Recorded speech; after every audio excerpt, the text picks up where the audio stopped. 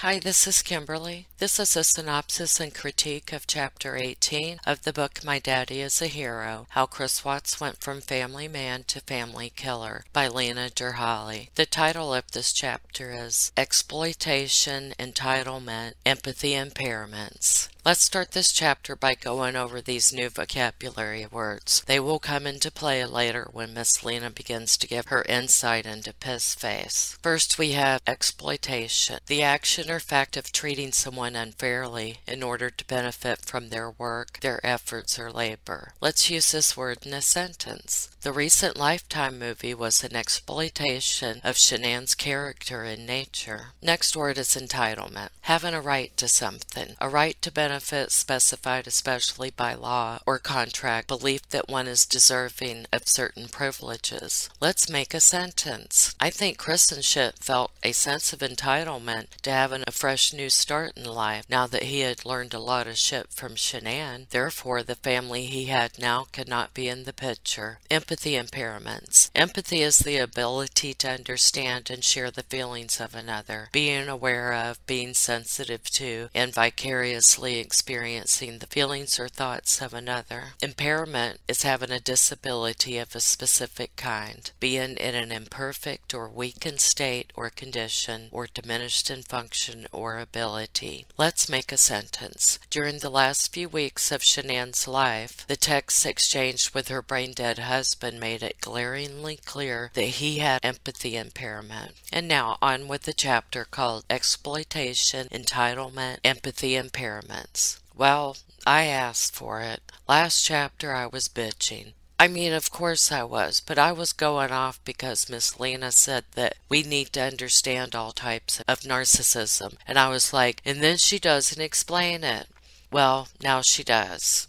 Dear Miss Lena, thank you. I stand before you today, hat in hand, and profusely apologize for not being patient. I am much obliged, ma'am, and I'm sorry I was a bitch. I can't help it sometimes. However, not only is it a personality shortcoming, but many seem to find my bitchiness as a source of amusement. Not that I'm making excuses, mind you. Well, perhaps I am. Never mind. Respectfully yours, with sincerest gratitude and kindest personal regards, Kimberly. But before we get started, I want to share an alarming video I uncovered of fucktard eating his own earwax. Yes, I'm not kidding. I was like, no, someone is pulling our leg. But no, watch. I will link the channel that I got it from. I'm not sure if they were the first to discover this, and I shaved it down just so you see the unsettling, revolting, and stomach turning parts. I usually skipped over those parts where he was just sitting there with his own dim witted mind. Maybe we should go back and study all of these bits. But now that I've apologized to Miss Lena and shown that Chris and shit really is an earwax eating piss face, let's go on with the chapter. Again, it's called exploitation, entitlement, empathy impairments. Those terms will come into play later on. Go ahead and get your pajamas on, a snack, and a beverage of your choice. Go on, I'll wait. I'll not do any whining and bitching or enter into a state of going offness without you. We have a lot to cover. Ready? Ready? Okay. Oh my god, this was a long as hell chapter, and it was tedious. There was too much information, details, and explanations. My head was just full. I didn't really care to learn about all kinds of mental illness, just the one that Fuckface has. But I do appreciate the explanations, don't get me wrong, as I do believe many will find it helpful, including myself. I just wasn't expecting a condensed college course. I feel like I was reading a textbook. This shit's supposed to be fun. I just wanted her to tell me what the hell is wrong with that dumb bastard. You guys, please be sure to check out the channel Live Abuse Free if you've not already, especially if you are in an abusive relationship. I'll provide the link in the description. This lady is very sweet and she explains about every single kind of narcissist known to man, as well as Miss Lena does. She also prepares you for holiday gatherings and things like that, you know, when you're going to be meeting up with your crazy ass family. The chapter starts with telling us that some media experts, including Dr. Phil, have stated that they believe Fuckface to be a sociopath and or malignant narcissist. Miss Lena says it is certainly possible, but wants to explore all of the possible diagnoses, and so she does. We scrutinize and consider all potential types of crazy. First one, psychopath or sociopath. She says these words are thrown around interchangeably, and I know I've heard it that way too, and I've never been clear on which one is which. Some people believe them to be the exact same thing, but she says, quote, William Hirstein, a philosopher and scientist, described the history of psychopaths and sociopaths and how they different. In the early 1800s, doctors who worked with mental patients began to notice that some of their patients who appeared outwardly normal had what they termed moral depravity or moral insanity, and what they seemed to possess no sense of ethics or the rights of other people. The term psychopath first applied to these people around 1900. The term was changed to sociopath in the 1930s to emphasize the damage they do to society. End quote. Now that's very interesting. I do appreciate that she's giving us this information. And yeah, I'm like sucking up and trying to kiss her ass because I was rude last chapter, but I'll do that sometimes. You know, my mouth just starts running and I can't stop. She says researchers now tend to use the term psychopath for those that are really fucked up in the head. I, I mean, that have more serious disorders coming from genetic traits, which makes for a more dangerous individual. And sociopath is the less dangerous, coming as a result of their environment, usually their shitty upbringing. So, one made by Cindy. I mean, their mom and or dad or whoever the hell raised them fucked up in their head. Some like to complicate it further by breaking it down into primary psychopaths who are thought to have inherited a fucked up gene and secondary psychopaths seen more as a fucked up product of their environments. Nice going parents and guardians. However, I found out that your environment consists of more than your parents or your family. It also consists of the area you grew up in, how you think, and your peers. Sociopathy. Damn it, I mean, soci socio sociopathy. And I'm going to mispronounce this shit the whole way through, so just, I apologize. Thank you. Amen can be thought of as something harshly wrong with your damn conscience. So, this is what is fucked up your sense of right and wrong, your morals, your principles, ethics, scruples, and that little voice that everyone has. Yours is evil. Psychopathy is characterized as a complete lack of conscience regarding others. This is an even worse version of being fucked up. Your conscience isn't fucked up, you just don't have one. You are insane, have mental illness, you're deranged, unbalanced, crazy, manic, demented, unsound lunatic. The book reads, quote, Psychopath and sociopath are not technical diagnoses in the DSM-5, but are under the umbrella of a personality disorder known as antisocial personality disorder, also called APD. Some in the mental health professionals world say there is not a difference between a psychopath and a sociopath, and others say they are separate. In order to be diagnosed with a personality disorder, you must have problems with not only yourself, but in relating to those around you. I would imagine those go hand in hand. If one is having challenges with themselves, how the hell are they going to be able to not annoy others and not get on their nerves with unwanted behavior? You can count yourself as having antisocial personality disorder, ASPD, if you do three or more of these things.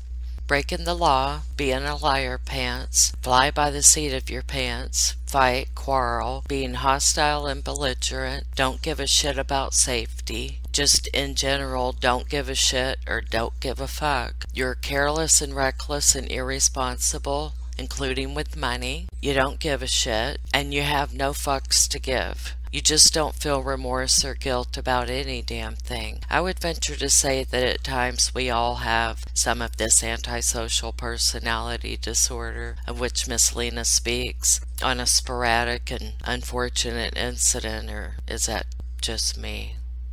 In the DSM 5, conduct disorder is very much like ASPD, as we just discussed, but ASPD is considered a diagnosis for ages 18 and older, and conduct disorder needs to be present before the age of 18 in order to meet the criteria for diagnosis. That's very interesting. People with conduct disorder may have these characteristics aggression to people and animals, uses bullying, initiates physical fights, has a weapon that can cause physical harm, physically cruel to people and animals, has stolen while confronting a person, has forced someone into sexual activity, destruction of property, deceitfulness or theft, serious violations of rules.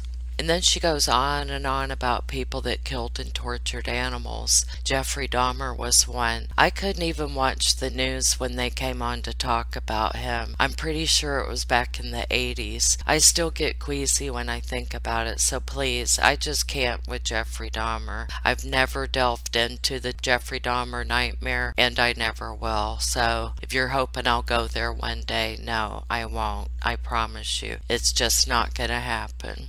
And then there's this thing called Hare psychopathy Checklist, and Hare is H A R E.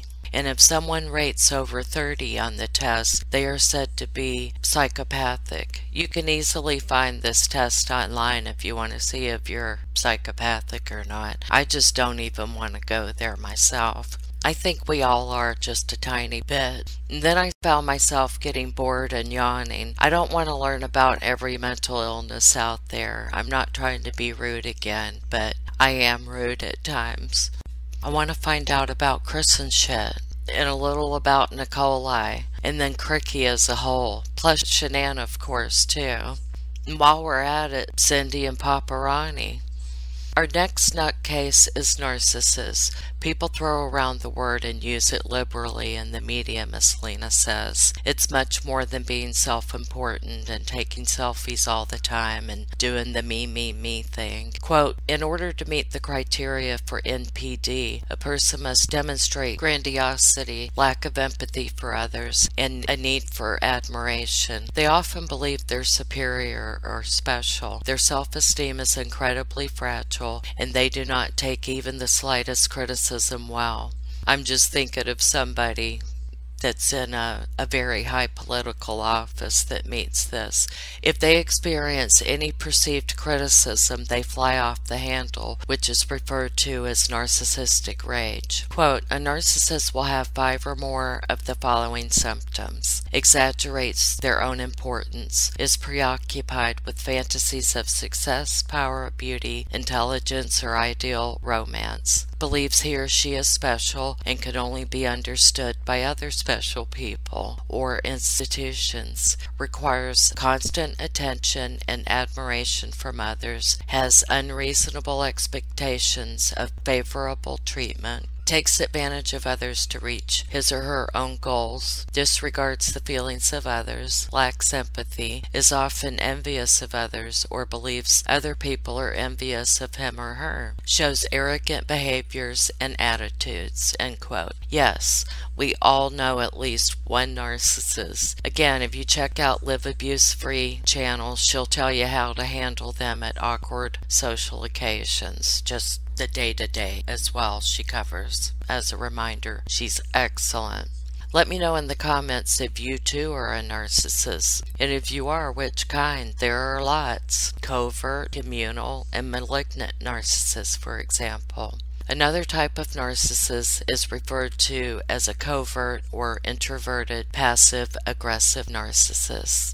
These types of narcissists don't look for admiration and attention as those with classic NPD do, but they do share some of the traits of NPD, like lack of empathy and taking advantage of others. Dr. Craig Malkin, in his Psychology Today article called What's the Single Greatest Danger of Covert Narcissism, describes covert narcissism as follows quote, They may be quiet or shy, and often are, but inside, in other words, covertly, they still harbor overblown visions of themselves and their future. Dreams, for example, of one day being discovered for their remarkable creativity, intelligence, or insight. What's different about covert narcissists is that they're introverted. They don't advertise their inflated egos. They agree with statements like, I feel I'm temperamentally different from most people, and even when I'm in a group of friends, I often feel very alone and uneasy.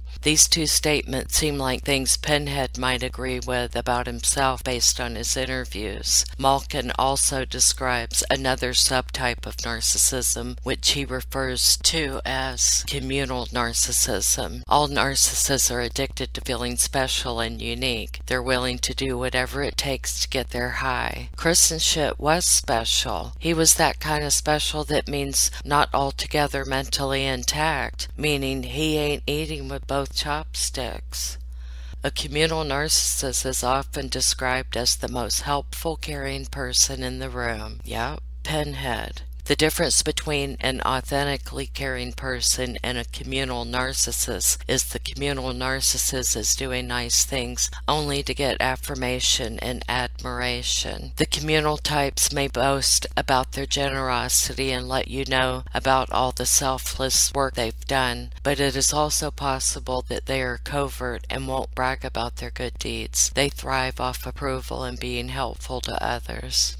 Dr. Malkin describes the traits of narcissism and how there is a spectrum on how pathological narcissism is. The more addicted a narcissist is to feeling special, the more likely they are to become disordered, displaying the core of pathological narcissism, or triple E, as I call it, says Miss Lena. Exploitation, doing whatever it takes to feel special, regardless of the cost to those around them. Entitlement, acting as the world owes them and should bend to their will. Empathy impairments, becoming so fixated on the need to feel special that other people's feelings cease to matter. At the end of the spectrum, we find narcissistic personality disorder. And herein lies the answer to the question built into the definition of NPD is manipulation, exploitation. The more severe the disorder, the more likely the exploitative style is to become abusive. That means quote, anyone with NPD can become abusive over time, and abuse is dangerous. Disordered narcissists, those with NPD, can be calculating about hiding their abusive side, whether they're extroverted, introverted, or communal, because all disordered narcissists are manipulative, end quote. Quote, towards the end of his wife and daughter's lives, Chris not only seemed addicted to feeling special, but he also met the criteria criteria for triple E, end quote. Finally, there is the malignant narcissist. Dr. Phil has repeatedly referred to Chris Watts as a malignant narcissist. Malignant narcissism is not in the DSM. Malignant narcissists are thought to be the extreme version of NPD, mixing narcissism and antisocial personality disorder, and often displaying paranoia, pathological lying, violence, extreme lack of empathy empathy, and manipulation are other traits of a malignant narcissist. End quote. The next part is called Born with a Bad Brain. I'm guessing Chris Schitt was born with one of those bad brains. And then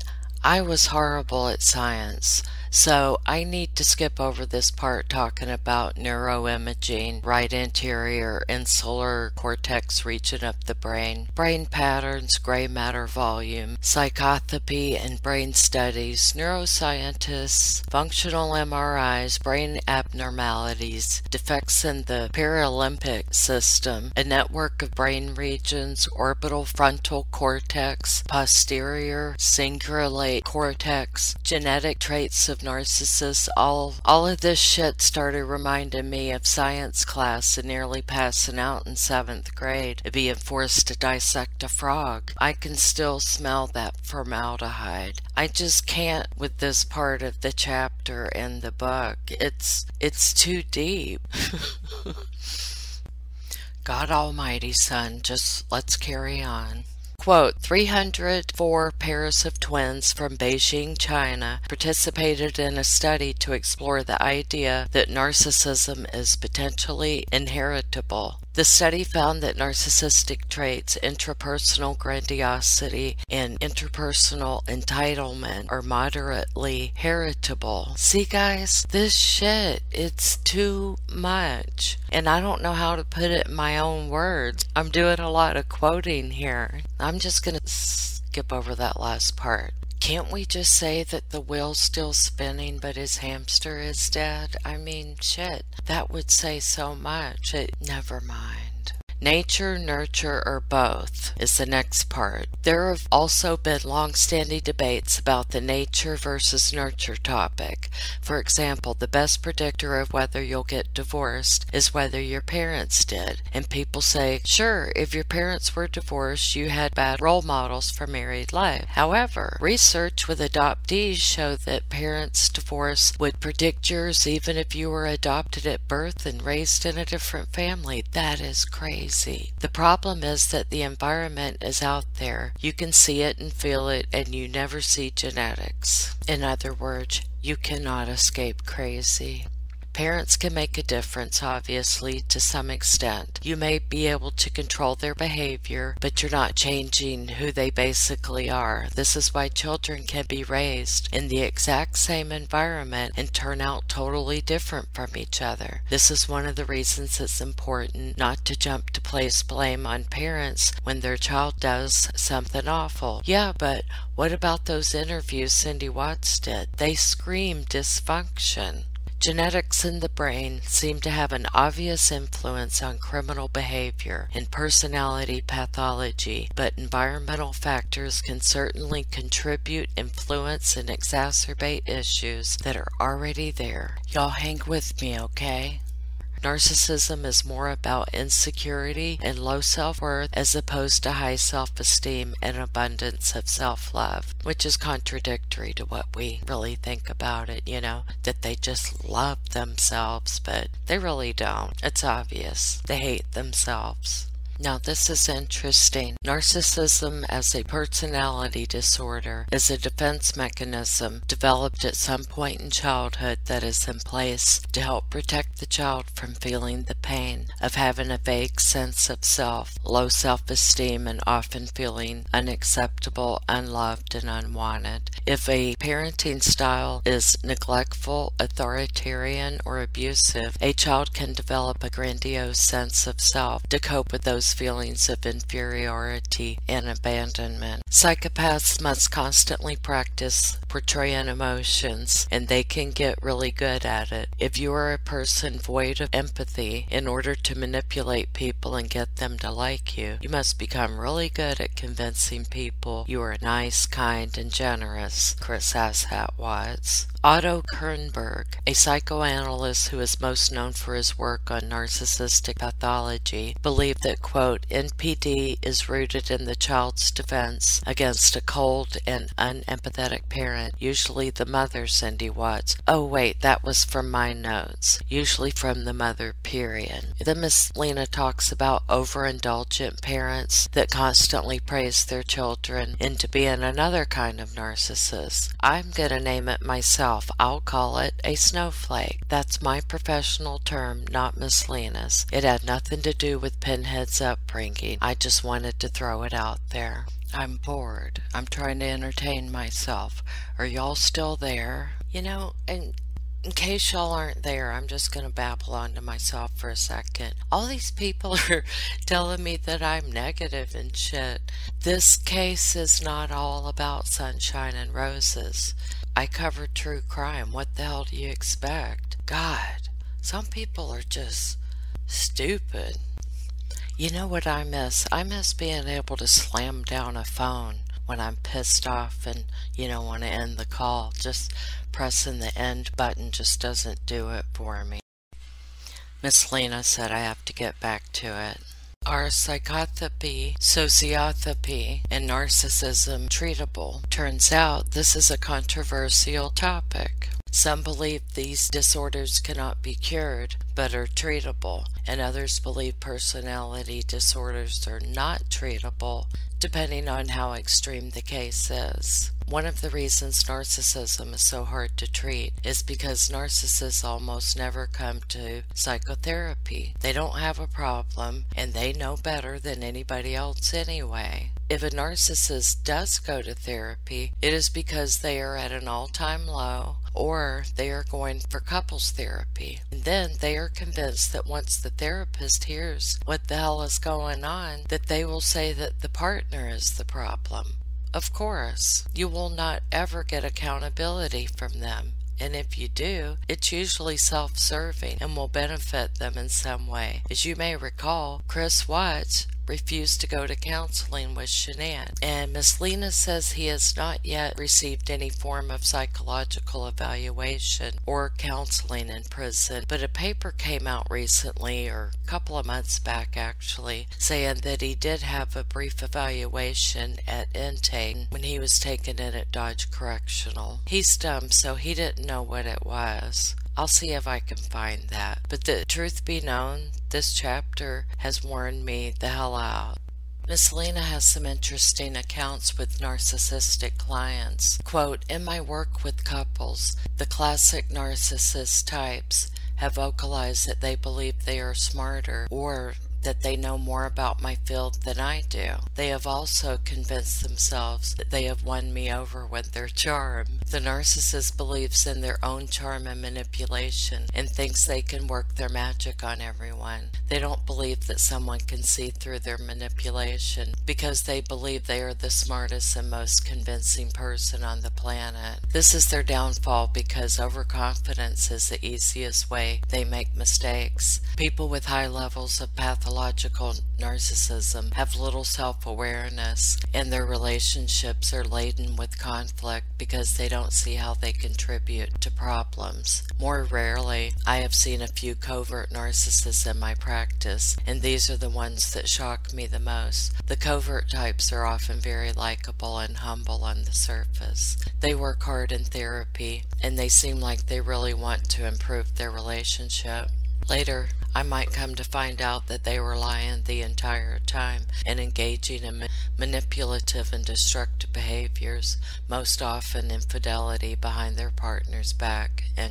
Treating narcissism is achievable, depending on how fucked up they are, but it is no easy matter. Quote, some ways to work with narcissists include trying to help change their ways of relating to others, helping them see their vulnerabilities as strengths rather than weaknesses, and attempting to teach them empathy, end quote. Wow, I had no idea one could teach empathy. Is it real then? The compassion and understanding? It seems like it would be something they could mimic, like Fuckface did, but there's still an empty shell a vacant parking lot, a nothing, dried up house plant, an abandoned building running on empty, an empty vessel. It's superficial. It's a futile attempt to disguise the true you. I don't believe this can be done. It's like with good looks, beauty or handsomeness. You've either got it or you don't. Oh, you could go all Kim Kardashian and buy your looks and have them tweaked every other month, but the real you is still there. They've just slapped some lipstick on a pig. Some studies have shown that narcissists are capable of empathy, but they do not put the effort in to take another's perspective.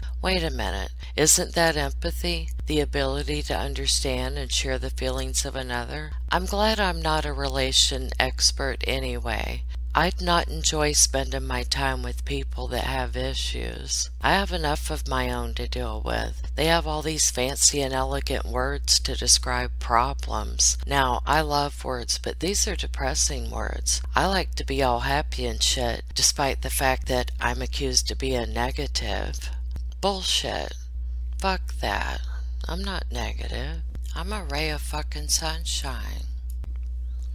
Treating psychopathy, given the limitations for empathy in the psychopathic brain, often involves teaching the psychopathic person that there are pro social ways to deal with their problems and get what they want out of life, instead of resorting to antisocial tactics. So, Miss Lena teaches them a nicer, more polite way of still being all bossy and in charge and shit. But that'll make everyone around them on edge and waiting for the other goddamn shoe to drop. You know what I'm talking about. That asshole oftentimes a boss, that usually communicates by hollering and degrading contemptible orders and insults. Then all of a sudden one day comes in and it looks like them, but it's not, and it's scary and shit. And everyone walks on eggshells anyway, trying to communicate with eye movement and silent mouthing while trying to pretend this shit is normal. I have PTSD from some of that damn malarkey in the corporate world. I've seen it time and time again where the corporate world orders someone to go get some anger management or something to that effect, and they come back all weird and they're still scary and intimidating. You're just waiting for them to blow. And now we have the narcissist in a romantic relationship. When a narcissist pursues and enters a romantic relationship, this is the beginning of a clusterfuck. You'll be on the receiving end of emotional turmoil and abuse from your romantic narcissist partner just because you fell in love with a bonehead jackass jerk. But please take comfort in knowing that they have chosen you for their narcissistic supply. Miss Lena expounds. In her Psych Central article, What is Narcissistic Supply? Dr. Sharie Stines says, quote, Narcissists are all about protecting the self at the expense of the other. Because of the narcissist's inability to connect in a healthy way with another person, he uses a system of relating that is created in order for the narcissist to take care of himself. Instead of a healthy connection, a narcissist seeks for narcissistic supply. End quote. Dr. Stines also states that some forms of narcissistic supply are as follows attention, compliments, praise, sex, a feeling of power and control, accomplishments, an addictive substance or activity, and emotional energy, positive or negative. Sounds like any typical relationship to me. The narcissist is fueled by a narcissistic supply and finds value in people only when they are giving them supply. The supply further reinforces the narcissist's pathological need to be validated, admired, needed, wanted, and adored. Without narcissistic supply, the narcissist is nothing. They just dry up and go away. So stop being their supply.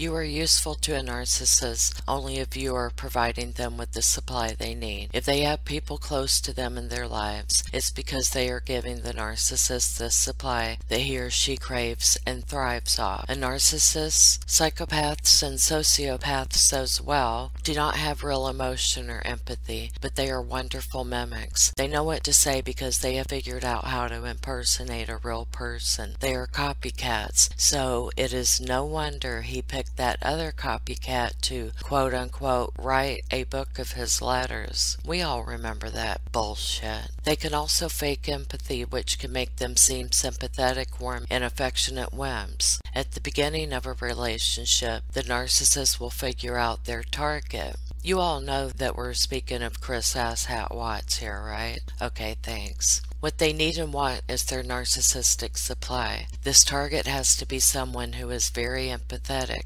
Shanann. This is because highly empathetic people are usually more forgiving once a narcissist lets the mask slip. They are all congenial and understanding and stuff. Miss Lena says, quote, Narcissists also prey upon those they perceive as weak or in moments of weakness. The weakness in the person gives the narcissist the upper hand, and the narcissist can swoop in and act as the savior, gaining the supply they need to fuel them. As you may recall, Chris pursued Shanann when she was at a very low point in her life. The first phase of a narcissistic relationship is the love bombing phase. Love bombing is when someone makes overwhelming and extreme romantic gestures in order to win someone over End quote. They will shower you with over the top displays of affection, flirtation, etc. This kind of deception goes way beyond ass kissing. Victims of love bombing often believe their person has changed when the love bombing stops. Yeah, Shanann was like, What the fuck, dude?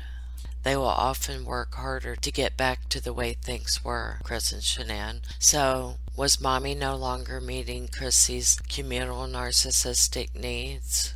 Love bombing are those things you see in romantic movies, but those stupid romantic comedies that I sometimes watch promote the idea that love bombing and over the top gestures early on in a relationship are normal and play into the fantasy of what your relationship should look like. Miss Lena says love bombing is often a huge red flag. So, what does the beginning of a romantic relationship look like then? Isn't everyone giddy and over the top at first? I think everybody has love bombed, right? It's that stupid giddy honeymoon phase. I mean, it's been a while since I met my husband, a damn long while. but I've watched a lot of Hallmark movies, so I know of whence I speak. Miss Lena says, quote, If someone you don't know well seems certain about you being the one for them, that may be reason to give you pause. It takes a long time to get to know a person well, which is why we date before we commit. Well, my husband told me the second time I saw him that he was going to marry me. Should I go and tell him that our marriage is over now because he love bombed me and told me prematurely that I was the one for him? At this point in our marriage, he would probably be like, okay, bye. Even, you know, it's been frickin' 38 years now. Y'all, I'm getting tired. This is a long ass chapter. If anyone's still with me, please raise your hand and God bless you. A narcissist will act as if you're the one right away and will tell you so. They may say things like, You're the one for me. What we have is unique and special. They can engage in stalker like behavior, but because people watch too many romantic comedies, they're fine with this aggressive pursuit. Not everyone who makes romantic gestures in the beginning of a relationship is a narcissist, but sometimes you will have gut sense and feel creeped out by the attention. The second stage of narcissistic relationship is called the devaluing phase. Once a narcissistic person feels more comfortable and that they've won you over, they'll start all the devaluing shit all of a sudden they flip, and you're all like, what the fuck? Miss Lena calls it the Jekyll and Hyde phase, when the narcissist mask is starting to slip. They start making snide comments that get progressively worse. They may withdraw emotionally and not speak to you, or grow cold and distant for a few days, for no reason other than to punish the hell out of you. Quote, the devaluing can consist of cruelty, all types of abuse, and withdrawal. With the flip of a switch, the person person who once adored you so much is treating you with contempt and hostility. This can be incredibly confusing, especially for those who have never experienced this type of behavior before. Then, out of the fucking blue, they are back, just as you knew them, all kind and sweet again. And then the next thing you know, it happens again. The cycle of emotional abuse continues, often with the dark side becoming more of the norm, with a few glimpses of the nice person. When the nice person shows up, it's to keep you around and to give you a glimmer of hope so you will stay. This is another way the narcissist gets supply. If the person the narcissist is hunting down is the most attractive, alluring, and special person, the fact that the narcissist has won this amazing person over tells them that they're clearly special just by association. I think this is one of the reasons Chris was so drawn to Shanann in the beginning. I meant to say pinhead or asshat. Miss Lena has me calling him Chris. I don't like that. When Scribble and Chris and shit were lying to one another, Pinhead tried to put into words looking at Shanann's photo for the first time and thinking she was the most beautiful woman he had ever seen. This apparently happened when he saw her on Facebook, and his cousin's wife, who was also a friend of Shanann, proposed that they be Facebook friends. Had she known this was going to be a one night stand that got out of hand, culminated into mass murder, I'm positive she would have thought better of it. Miss Lena goes on to explain that no matter how much unconditional love you give this particular kind of asshole, it will never be enough for their narcissistic ass because you are just an object, a doodad, a doohickey, thingamajig. You're only there to fulfill their needs. Can't they get a blow up doll, a chef, and a house cleaner? Since your needs do matter, this seems the less intrusive way to handle shit. You can hire people for anything. Best of all, you don't have to love people you hire. In fact, it's preferable one doesn't. A narcissist is almost always incapable of real love, so perfect partnership. However, one that has been hired, unfortunately, cannot escape the final phase in the narcissistic relationship, the discard phase. You will be cast aside like a used condom when the narcissist no longer has any need for you or you no longer give them the narcissistic supply that they need. They'll discard you and want nothing to do with you anymore. And what's the point of trying to save and prolong the relationship? Your own needs have not been met for a hell of a long time. The rejection will be completely cold and heartless, and you'll be left feeling as if you meant nothing to them. This is exactly what Pinhead Halfwit did to Shanann. There may be two sides to this story, but he is still a disloyal, mean spirited, selfish, egomaniac cheater. A narcissist may be able to find a new person from whom they can get supply, like Nikolai, who was prancing around the office singing, My milkshake brings all the emotionally dysfunctional, selfish, narcissistic alcoholics with mommy issues to the yard. Yeah, singing that shit. And that person, Nichol, Nikolai will seem more exciting because she comes with the thrill of a new relationship. Quote, if you're thinking this sounds like exactly what Chris did to Shanann, Bella, Cece, and Nico, you're correct. Discard doesn't even seem to fully describe the enormousness of what he did to them, end quote. When a narcissist is done with you, they truly do not care anymore. As in, fuck all this shit, I'm done. Zero fucks do they care. And then Miss Lena asks, What is Chris Watts? Why, I'm so glad you asked. He's a shit sack, honey badger, shithead, moron, useless tit, murdering monster, demon from hell, sorry ass, freak show nut job, horrible freak, freaking evil bastard, dickwad, sick fuck, fuckhead, douchebagette, eh, dog meat, shit stained, trash, adulterer, monstrous, self centered scumbag, crybaby bitch, toxic, fucked in the head, dysfunctional, shitty enema, jackass, dingbat, smooth brain, dumb, shallow, ignorant, dinkster, dipshit, lily liver, snotburger, doo doo head, smelly ass sniffer, irresponsible, douche noggin, fool ass clown, failure, lazy prick socket, ugly slut hammer, annoying as fuck, mediocre ment, crying baby on a plane, dead shit, itchy sweater, blowhard, dick ass, frothy, elf skin, footlicker, waste of human tissue.